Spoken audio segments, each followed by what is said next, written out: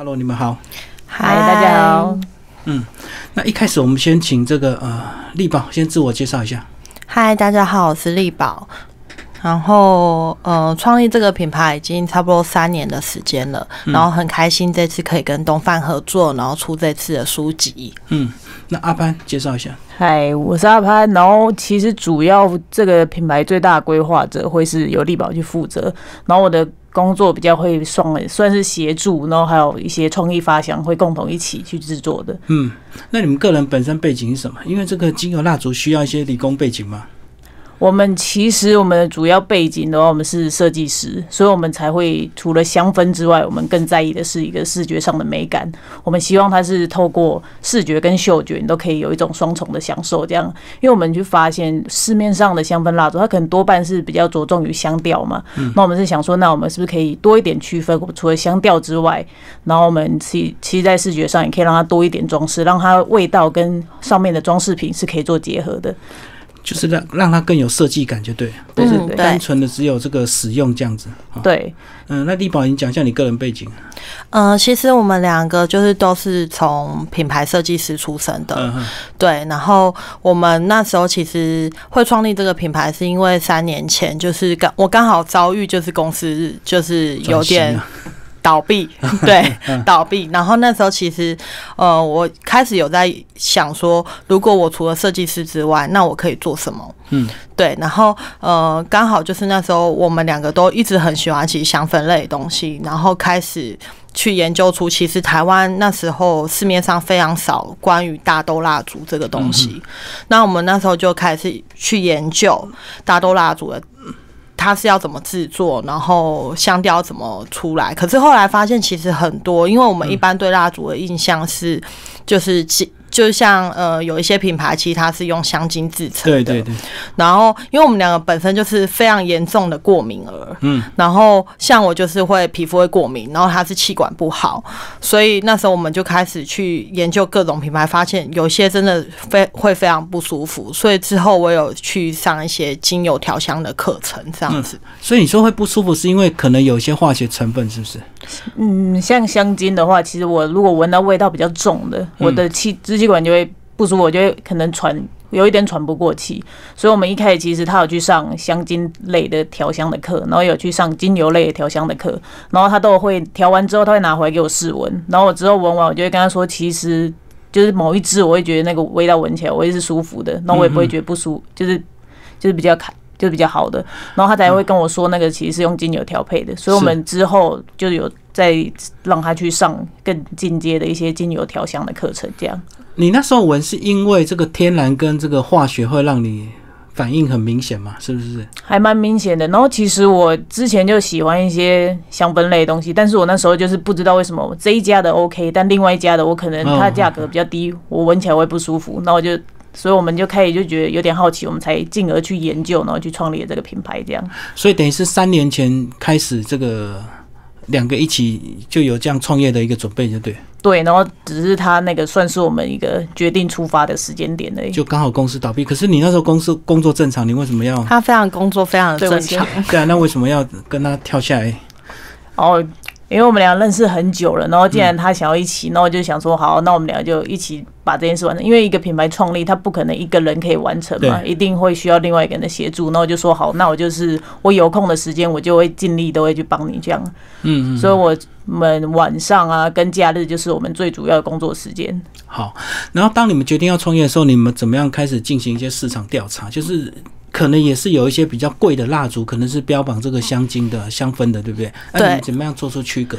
其实我们蛮特别的是，我们其实我们两个很喜欢旅行，嗯，所以每到一个地方，我们就会开始去找那个地方的特色，嗯，对。然后像我们去过日本、韩国、泰国那些地方的话，其实这三个地点其其实他们的香味都很不一样，嗯，但也跟他们民族性很像。然后那时候我们就都会每到一个地方，我们都会买他们的蜡烛回来，然后去。试试看，点点看他们的味道是怎么样的。嗯，对。然后那时候我们去做了一些市场调查，是，呃，我们是先就是，呃，在买了各种品牌之后，我们都先点过一轮。对。然后发现就是真的有些品牌的味道，它可以扩扩到非常的广。嗯，可是有些品牌是淡淡的、香香的，然后我们才去研究它出里面，因为有些是它可能里面用些浸泡油，嗯，可是天然的花草浸泡油，然后有些可是可能是用精油，可是有些是用香精。那当然扩最广的就是香精嘛，因为绝大多数的人还是希望他点了可以很香，嗯，对。然后我们那时候就去开始去市集上面，就是可能会。我们有先制作出几个味道，嗯，那时候我们比较单纯制作是比较单方的味道，然后开始会去试，就是会去跟就是所有消费者沟通说，其实还有大豆蜡烛的这个选项，它是一个天然环保的蜡烛，它还可以当护手霜，嗯，对，然后那时候台湾就是有些市集的人才开始认识大豆蜡烛这个东西，然后他们也觉得非常奇妙。那在试了差不多半年之后，我们发现其实台湾人普遍是可以接受的，嗯对，而且台湾对环保非常有就是那个意识。可是对于蜡烛，我们的印象不是就是那个拜拜或者是停电的时候对对。那为什么它什么时候变成生活美学的一个部分呢？或者是变成一个精油的一个成分这样子？嗯，其实国外就是像美国、法国、欧洲那边的国家，其实他们从很久很久很久以前就都有开始在用香氛蜡烛了。嗯嗯，对，只是在台湾的印象之中，其实我们最常像拜拜的那种蜡烛，我们是用石蜡制成的。哦，就是一般工业品，就对，它是由石石油里面提炼出来的。那那个其实呃，相对成本很低。对。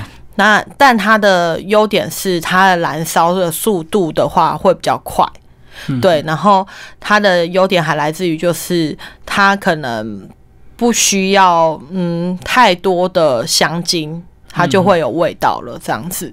嗯，对。所以对于商人来说，它成本比较低，所以而且绝大多数大家认识的蜡烛就是都是长那样这样子。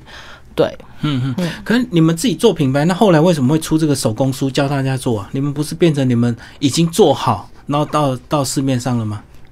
哦，其实我们是做好了，然后但是我们在出书之前，我们其实一直有开一些手做的课程，因为我们想要让做的中间，因为我们如果一直跟你说我们的。成分很天然，然后它里面加的东西很单纯，其实你可能会有点半信半疑，所以我们就既然就是想要让大家知道我们里面单纯，就是原料是单纯的，那我们干脆去开课给你去手做试试看，让你看到我们从无到有的过程是什么。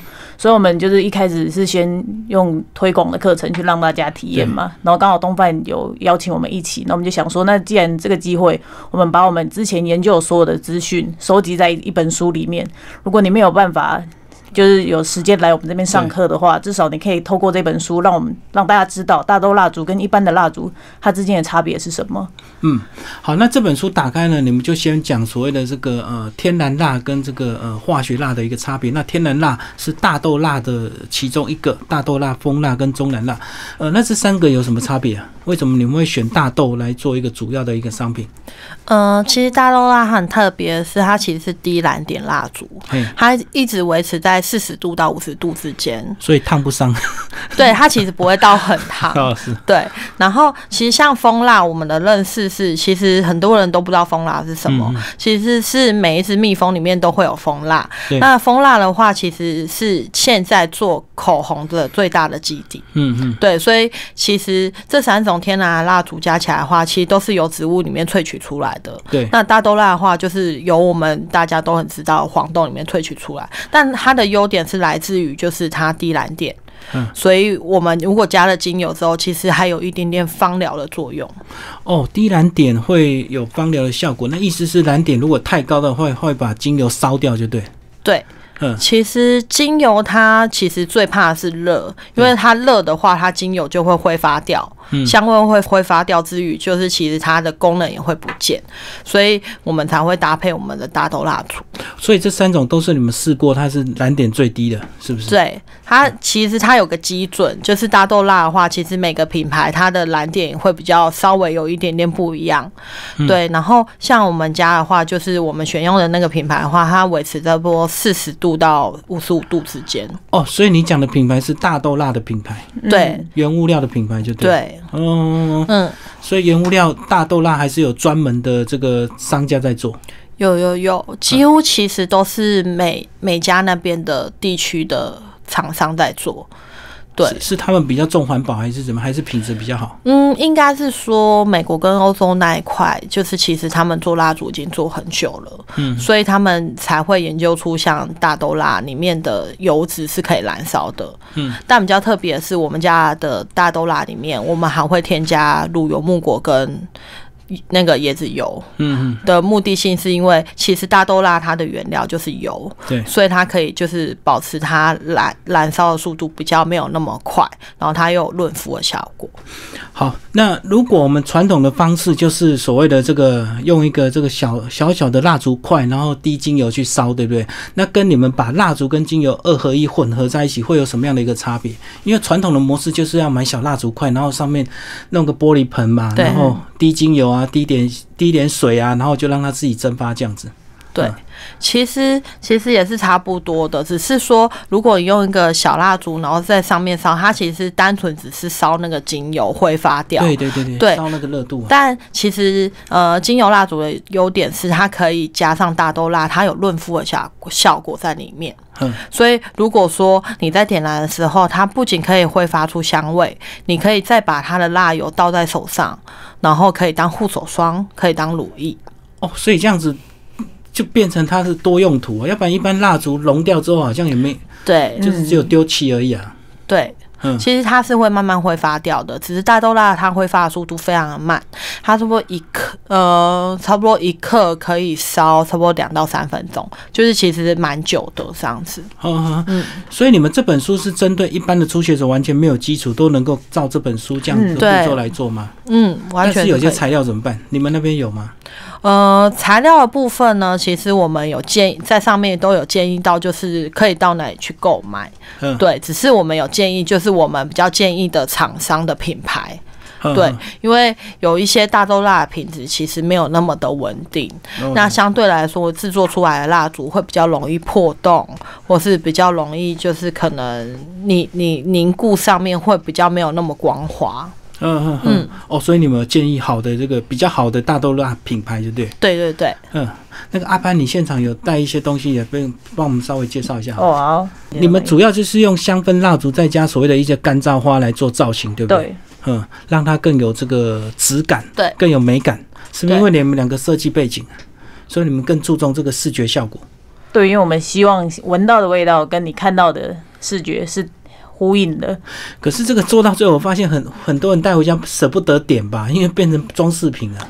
嗯，对，因为其实我们很碰到很多客人都说，哦，我真的舍不得点你们家的蜡烛这样子，因为他会觉得就是可能收到一个这样子的东西，然后可能他会觉得摆摆在那边当装饰品。对对。但通常我们会跟客人说，我们希望你们就是可能，因为其实它一开始放着，它会散发出淡淡的香味，然后时间久了，如果表层的味道比较淡之后，你再烧的话，味道才会再更扩开来这样子。哦，不用不用急着就把它烧掉，可以等它先稍微散发。它一开始其实会比较像香氛块的功能，就是可以放那边会有淡淡的香味这样子。那我们看到有黄色，它的它是用什么颜色去去色粉还是怎么？这个的话，其实是我们书本里面有教到的，就是蜂巢蜡的部分，嗯，蜂蜂蜡片。对，然后它的它的原料是来自于蜂蜡，嗯，所以其实蜂蜡你们现在看到黄色的部分呢，它就是没有经经过精制过的，嗯，然后它就是它会做像那个蜂农，他会把它做成一大片这样子，或是一块一块的，然后你可以拿这个原料拿去制作香膏啊，或是口红的部分。哦，所以那个黄色是蜂蜡的原色，对，这是。蜜蜂就产出来，它就是这个颜色，就是它蜂巢里面原本蜂蜜的那个孔洞，它最后他们蜂农会把它全部融化之后，它会再把它压成这个造型，然后会变成一片一片的。哦，就是那个巢，对，蜂巢里面。如果它分巢离开之后，那个巢就会再利用，就对。对，它把里面的蜂蜜都全用出来之后，它就会把蜂巢全部拿来融化，溶解完之后，它就会再制成像这样子的原料，然后卖给保养品商啊。哦，我听过蜂蜡膏，哎，所以就是一样用蜂蜡做的吗？对对对，它烧的时候是润手的。嗯，它烧的时候其实会有一点点淡淡的蜂蜜香。嗯，非常淡的蜂蜜香，所以这个话其实我们就没有另外加精油，因为其实它的本身就有味道，对造型效果非常的好之余呢，它就是有一种非常手做的感觉。嗯，那如果是加精油的话，是本身我们还要对精油的这个成分跟功效有一定的了解，才能够去调适合自己想要的一个精油蜡烛，对不对？对。因为其实我们呃，像我们家自己卖的产品，就是因为我们目前就是有在成品跟 Pinko 上面放卖。然后这像这些产品的话，我们都是我们家既有的味道。但像这本书里面，我们介绍比较多的是，你可以依照不同的时节，然后去调配出不同的精油的味道。像圣诞节的话，其实我们家就是有有里面有几个，就是教人家说，其实圣诞节最喜欢闻到的，其实就是肉桂的味道。对，然后肉。肉桂的味道其实很适合在你圣诞节吃饭的时候点在那个餐桌上面，然后配着一杯热红酒。嗯，然后其实我们里面书里面教到非常多，就是你可以因应不同的时节搭配不同的味道。嗯嗯，好，那除了精油之外，那个上面的干燥花是不是也有学问？因为里面里面还有教一些干燥花的技术，然后再把它放到对呃那个香香蜡上面的一个当做装饰品这样子嘛。嗯，对，因为其实我们家绝大多数的干燥花，我们都是有挑过的。嗯，对，因为呃，台湾地区本来就是比较潮湿。然后，呃，如果台湾自己就是如果没有经过处理过的干燥花，其实比较容易发霉。对对，所以我像我们家的干燥花花，像里面我们都有介绍说，如果可以的话，可以经过一些就是没有喷射跟没有染色的干燥花，但它有经过在国外处理过的。是任何花都可以做成干燥花吗？只要我看了喜欢，我把它拔下来，然后烘干，或者是放在除湿机上除个几天就变干燥花，是不是？其实有一些花，如果路边摘的，其实是可以的，但它其实时间久了，它还是一样会脆化。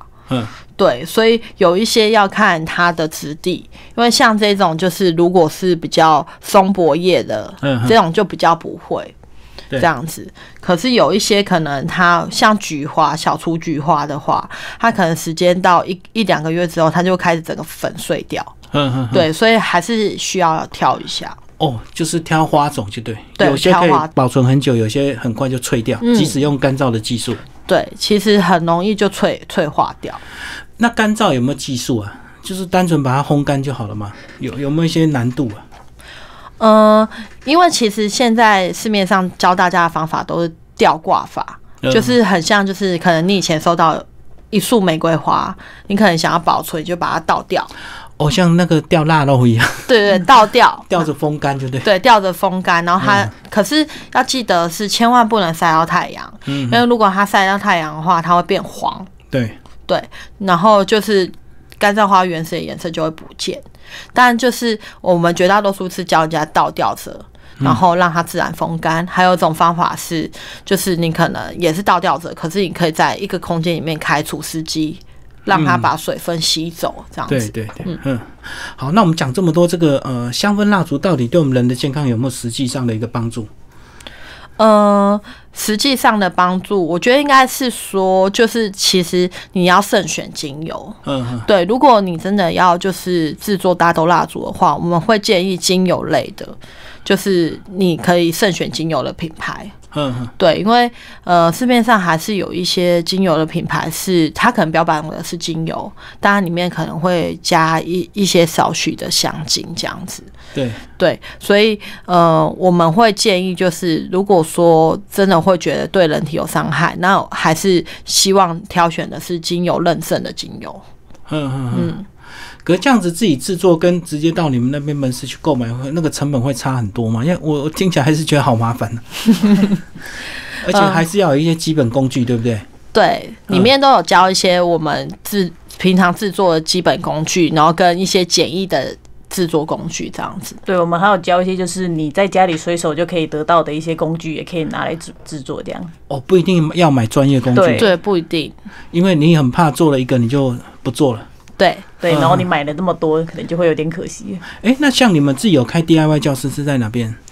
呃，通常因为像我们之前就会跟 Pinko 的品品学堂合作。哦，我懂。对对对，我们会一起合作，就是跟 Pinko，因为其实 Pinko 他们的就是客群非常的稳定。嗯。那那时候我们都会因应不同的时间，然后可能也会跟不同的品牌合作。就是做一堂的单独体验就对。嗯，对。然后成品就带回去。对对，成品要带回去。我们的调香课程是从就是教你认识大豆蜡，到呃，你可以自己调你自己的香调，然后制作成蜡烛，最后是插花包装，都是全部自己来这样子。那如果说这个基本款是做熟练之后，它有没有一些比较更高的技术或更复杂的一个什么方法，这样子能够做出更漂亮的东西？因为其实我们最初接款的话，就是像这种容器类的，容器类的其实是比较简单的，就倒进去等它干，然后插花。对。可是像我们这种比较复杂的是，它必须还要搭配就是脱模，就是模具的部分，然后脱模你还要去。精算就是它干了没，你脱模才不会，就是这个东西才不会脆掉。所以它等于表面上本来是有个东西的，对，它是有个模具，塑胶的还是什么？呃，就是那个就是防铁的部分，有铁的也有 PT 的。哦哦哦，对对对，嗯嗯，然后就是要。比较高阶的难度就是要拖出来很漂亮，里面没有气泡、没有变形、没有空洞，就对。然后像这个的话，其实它已经它灌了两次，它这个里面中心点我们有先放一个这么小的在里面，然后它等到这个小的做完了之后，我们把它脱模完，再把这颗小蜡烛再放到我们大的那个笼模具里面。然后我们主要的目的是要让你这外围你有空间可以插花，但花又不会往中间倒，因为我们中间有先做了一个固体的好的放在中间的。哦，做两层。对，像这个的话，它就是比较复杂的，它就是要先做好一颗小颗的在里面，然后再把第二次再把外外围的蜡直接做的话，就会通通往中间倒，就对的话就可能会没有办法在外围，你可以看到像这样子有一点点的花在外外圈这样。哦。哦，了解了解，所以这个就是可以拖到两次。嗯，那更高端，你们还做到什么样的一个高难度的东西啊？有没有挑战一些动物造型？其实目前市面上蛮多，就是都是教人家。嗯，有一些是蜡烛挤花的部分，挤花或者是做手掌，对不对？对，然后它也有就是用大豆软蜡，然后把它挤成像一朵花这样子。那其实也是蛮难的蜡烛这样子。可是那个比较呃，是有一些是经过上课的师资，因为它有点像是蛋糕师傅，然后再挤花，把它挤成漂亮的。漂亮的样子，这样子哦，挤花就是像奶油这样放在那个袋子里，这样挤出来。对，嗯嗯嗯。那那个其实是算所有蜡烛里面算还蛮难的部分，因为它比较难以控制。对对对。然后这个精油蜡烛或香氛蜡烛的话，它是不是也可以推广变成一个礼品，这样子变成一个非常送礼的很好的一个东西呀？因为你自己用可能会舍不得用，如果人家送你，可能会比较舍得点。对，因为其实像我们家比较就是销售比较好的月份，就是像圣诞节的部分，因为大家交换礼物，然后就是随手可得，就是就是这一个，然后我们家就是通常会搭配一些小小的包装这样子。那情人节，情人节送蜡烛会不会？有有有，还蛮多是那个可能新娘要结婚的时候，他会送伴娘一人一颗这样，然后他就会因为我们可以做定做的，就是你可以从你想要的容器到你想要的香调到你想要的花，你都可以挑。然后这时候我们就会跟新娘讨论说，那你平常喜欢的香味是什么？然后他如果真的都没有想法的话，我们就会建议他一些味道。然后我们会从那个精油本身的花语来跟他讲介绍。然后像我们对。常推荐客人可能就是橙花的精油，然后搭配上白色的花朵这样，那我们就会跟他说橙花的精油的花语就是代价新娘心这样。那我说，所以你这样子就可以送给你的伴娘，然后你就可以跟他说这是由我挑选的味道，然后甚至到花材都是我去帮你们调配的，所以这就不是只是一个礼物，而是我想要跟你们说的话这样。哦，对，而且它是刻制化的，对不对？嗯，你喜欢什么花，喜欢什么味道，或是你想要什么功效，都可以透过跟你们讨论，然后做出对符合客人的需求。嗯，因为其实我们在 Pinko 上面还有一个还有一个服务是，你可以跟我们形容你的朋友的长相、穿着、喜好，然后我们可以帮你调配出觉我们觉得是喜他喜欢的精油味道，然后做成一颗蜡烛。哦，就是这样，你们还要学一点心理学，是不是？哦，因为我们其实很最一开始，我们是。透过摆摊的方式。然后去跟大家做销售，然后我们那时候会想要用摆摊的方式，是因为我们想要了解透过对聊天的时候，我们去跟客人去了解他到底喜欢什么。所以，我们差不多摆了几年之后，我们就发现哦，这样子的人跟这样的对谈的人，他可能会喜欢的香调是什么。然后这时候，我们通常去推荐他这些味道，他一闻他都会是喜欢的。所以，我们就是以这些经验之后，只要网络上大家开始问我们，我们就会说，那你可以传一下你的照，就是你朋友的照片来嘛，对对。然后我们就会推荐他味道，然后之后再送过去给他，然后他通常。百分之七八十都他都会说哦，我朋友真的很喜欢这些味道。哦，我懂，因为你们摆摊经累积大量的看面相的这个经验，就对，一个大数据。嗯，所以你们自己大概统计出什么样的人喜欢什么样味道。因为其实像我们摆摊摆那么久，我们通常都会就是看走过来的客人长怎样。就例如说，因为像我们家有三种花花香调嘛，对。然后其实像。我们家的诱惑玫瑰的话，其实我都会通常会推荐比较有女人味一点的女生，嗯，就可能她是长头发，然后大波浪，然后妆比较浓的女生，绝大多数她喜欢的味道都是玫瑰香调，对。但如果是走过来比较像文青类型，然后可能学生类型或是比较沉稳的人，有气质的人，他会比较喜欢我们家的沉稳木质调。他会比较喜欢像木头那种很沉稳的味道。其实像每一个国家，他喜欢的味道都不一样。因为像我们家沉稳的木质调最受日本人的欢迎，因为它就是有一种很沉静的味道，它味道比较内敛一点。对，哦，我懂，比较优雅的男士就喜欢这种内敛的味道。对，可是像香港人，他。非常喜欢我们家的清新香蜂草柑橘调，嗯，它的味道比较阳光的感觉，嗯，香港人就会非常的喜欢这样子。对，香港现在很需要阳光。对，没错，还真的这个呃，看这么多年，还真的是有有它一定的道理哈。不管是人种，或者是这个走路姿势啊，或者是长相这样子。嗯，其实季节有关系。嗯，对，因为其实像我们夏天的话，我们的玫瑰香调就卖不好。嗯，因为其实夏天的话，大家都很需要一点点就是清爽的感觉。对，所以那时候我们家的清新香蜂草就会卖的非常好。这一款芬多金的味道都会卖的还不错。分多金，呵呵。就是这个蜡烛到底什么时候我们会去使用它？睡觉前啊，吃饭啊，或者是浪漫的这个烛光晚餐到底是什么场合？还是说什么我们需要宁静的时候都可以点个香氛蜡烛，让自己静个心？呃，我自己的习惯是，我会在睡前大约两个小时前，我就会点蜡烛。嗯然后呃，可能你就洗澡出来，就是房间就会有这个味道，其实会比较好睡。然后其实我们也会蛮建议有一些客人，就是他可能会有一些失眠的困扰。嗯。但因为我们家的薰衣草挑的是就是是可以助眠的薰衣草，因为薰衣草有两种，一种是可以醒脑的，然后另外。另外一种的话，其实它是让你安安神的。嗯，然后我们家选的是安神的部分，那我们就会建议你在睡前的一个小时点，然后你让房间里面有淡淡淡淡的味道，其实你会比较好睡。嗯，对，因为其实我们之前问过非常多的调香师，他说其实如果薰衣草你用再更浓一点的味道，有时候会反效果。哦，变成醒脑了。它会变成就是味道太重，你更会睡得不好。嗯，对，好，最后两位讲一下你们的品牌的这个发展三年到现在，呃，自己的下一步是什么规划？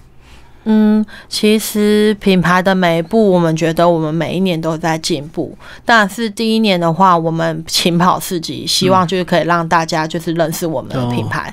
然后第二步，那时候我们还会开玩笑说，那时候我们第一年开玩笑说，希望在第二年的时候，如果我们进成品，我们就把这品牌收掉。嗯，就只是开玩笑这样讲。但第二年我们真的进了，我们真的进了成品。对，然后第三年。我觉得也是我们人生的就是一个里程碑，就是我们出了一本书。对，但我们希望就是接下来的品牌是我们可以再发展更多的品牌线，就是不止蜡烛，我们希望就是可以让大家更认识更多的不同的精油的产品。嗯，对，因为我觉得就是现在大家都很喜欢就是香香类的东西，但他可能比较不清楚说精油跟香精的分别是什么，差别在哪？对啊，对，因为毕竟就是身体是自己的，然后还有对于环境其实也蛮重要的。对啊，而且燃烧到那种人工蜡烛，你可能还以为那个是什么香味，其实那个是化学的香味的。对，其实我会觉得，嗯，所以我们的下一段目标是我希望可以扩我们的产品线。